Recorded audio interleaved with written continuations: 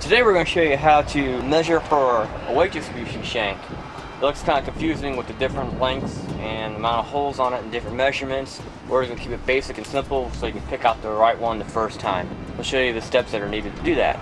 Okay, first thing we do is get two measurements. We need to measure from the bottom of the coupler down to the ground and from the top of the hitch opening down to the ground. The difference of those two measurements will tell us what size shank to get.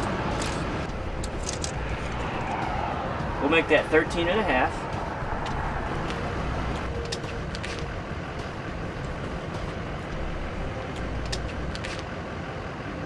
Looks like we got a measurement of 21 inches.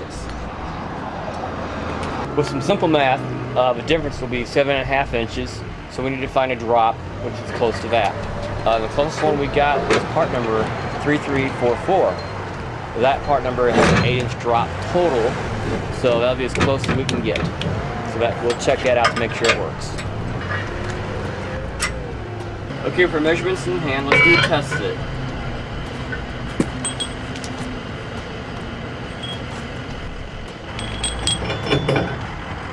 As you can see, the ball height is the same as the coupler, so it looks like a perfect match.